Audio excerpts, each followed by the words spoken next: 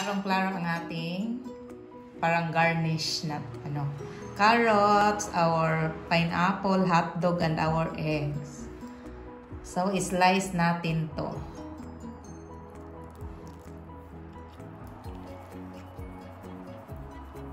Mm.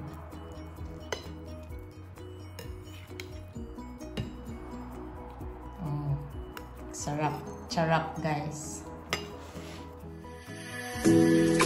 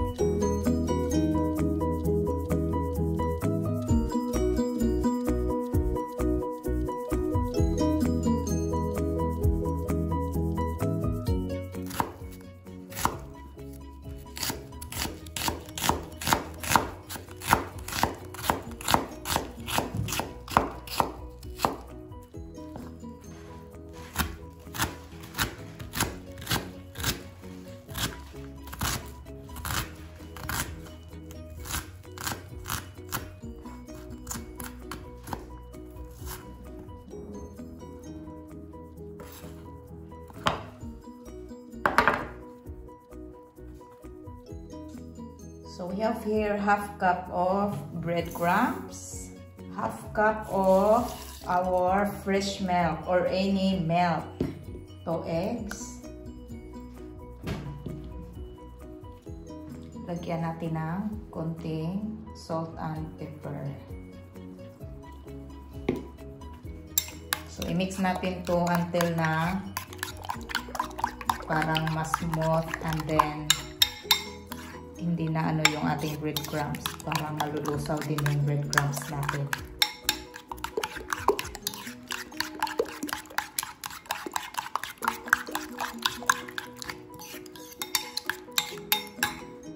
Okay, set aside natin to and let's prepare uh, the other ingredients for our hardinera.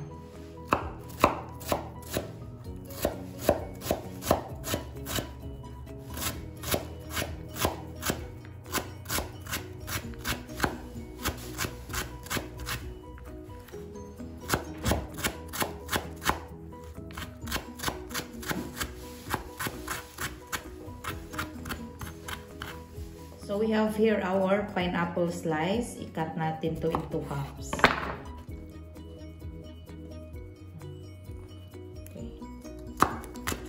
Our green bell pepper. So I don't have available red so I use this one green. By the way, kung bago lang kayo sa channel ko guys, please don't forget to subscribe and click the notification bell para updated sa ating next na video. This is your kakaibang vlog.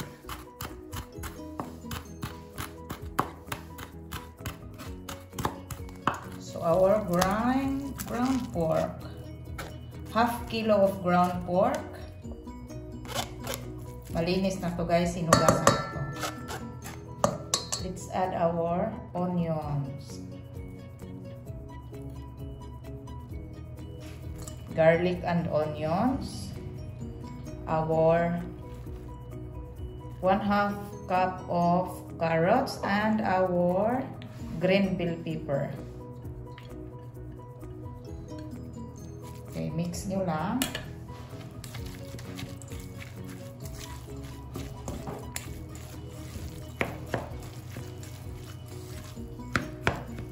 Let's add our crushed pineapple and our green peas. So, our green peas is frozen to. Pero any green peas will do. Optional lang din ang green peas, guys. Just to add flavor and color of our recipe. 3 tablespoon of white sugar. Mix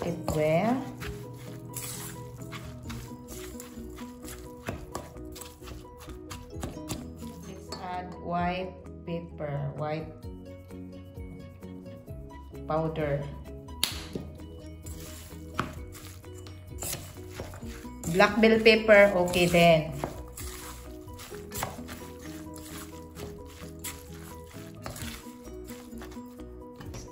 Let's add our salt and pepper, salt and pepper. And our mixture of our breadcrumbs, eggs, and milk.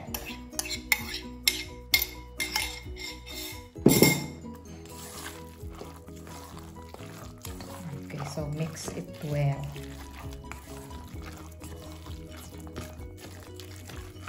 So again, I don't have available red bell pepper. Wala akong red bell pepper na available. So, ini naman, pareho lang naman ang red and green.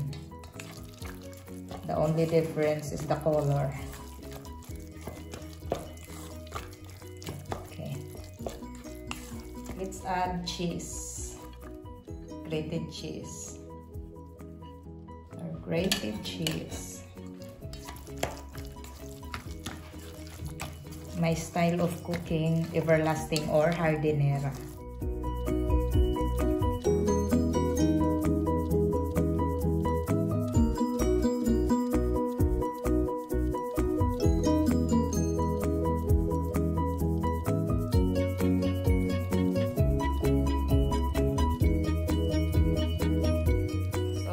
Add our raisins to add color and flavor din. Okay, mix well.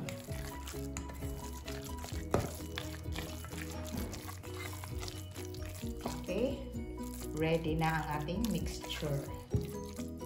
So, lagyan natin ng butter yung ginagamit ko guys para hindi didikit yung ating So, my style of cooking this hardinera guys, hindi ko niluto yung karne kasi para less ang ating oil. Kasi, kasi pag niluto mo, di ba kailangan igisa mo yung mga ano, so gagamit ka ng mantika. So, in this, ano, my style is not to cook para less ang ating mantika na magagamit. Wala tayong magagamit na mantika. Only this butter lang. So, ready na ang ating lanyera. Ilagay na natin ang ating mga ito, ating pang-garnish sa ilalim. I-prepare natin ang ating lanyera. Okay, this one. So, lagyan natin ng half egg, pataob ang style. And then, our hot dog. Upitin natin ang hot dog, guys. O, putulin. So, maliliit yung lanyerang gamit natin kasi ito yung available din dito sa amin. Okay. Oh, so, tingnan nyo. Our bell pepper green. Dito lang sa gilid. Okay. Available pa kayong cheese. Pwede nyo din lagyan ng cheese ang space na walang ano. Tingnan nyo, di ba may space pa? Pwede nyo yung lagyan ng cheese. Pero pag wala is wala din, huwag nyong lagyan pag wala. Optional lang to guys, optional. Okay, ganito lang. Oh, let's add our, let's put our carne, our mixture.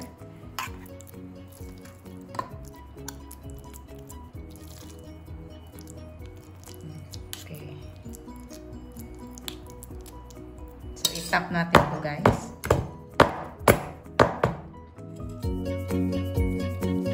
Tatlong lanyera lang yung nagawa natin guys kasi half kilo lang tong ating karne. So, itap nyo lang to para ano. Okay, and then takpan natin ng foil.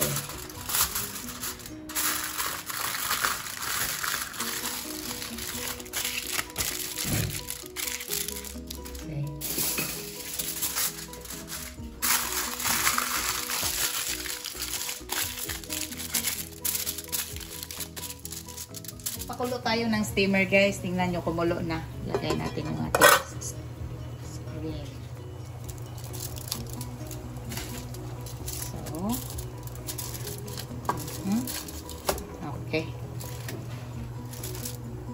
Okay, so, low heat lang guys ang ating apoy. Low heat lang. Para hindi ma-ano pagkaluto yung ating So, iluto natin to ng mga 30 to 45 minutes. So, luto na siya guys. 40 minutes ang ating ano. So, tatanggalin natin siya dito sa ating steamer. And, uy, palamigin. Oh, nabutas.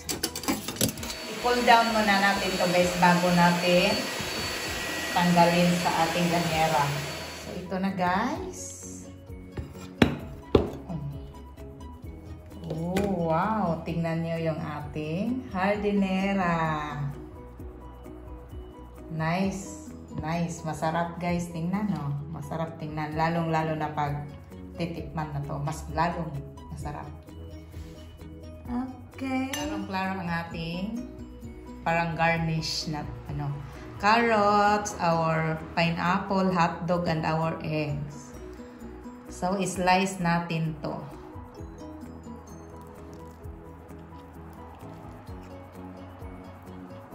Mm.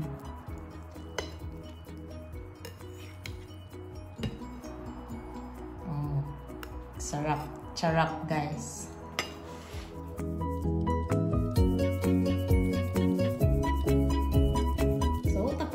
Ating hardinera. Tingnan niyo guys. Actually, dapat may tomato sauce to or ketchup. Hindi ko lang linagyan kasi may kasama ko ditong sa bahay na ayaw masyado sa mga ganon. Kaya, hindi ko na lang nilagyan. Pero the taste is the same. Perfect. Perfect ang taste. And let's try. Mm. Yes. So, tingnan nyo yung ating hardinera. Masarap siya guys, kahit walang ketchup or tomato sauce. The only difference is the color. Pero ang lasa is still the same. Masarap talaga siya guys. Promise.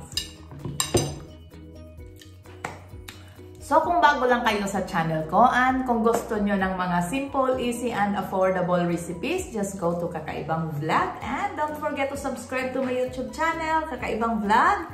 Don't forget to like, comment, and share. And please hit the notification bell para updated kayo sa ating next na video. Sa mga subscribers, thank you so much for subscribing. And sa hindi pa nakapag-subscribe, please don't forget to subscribe. And thank you for watching. See you in my next video. God bless us all. Bye! I hope na-enjoy nyo yung ating recipe for today. Bye!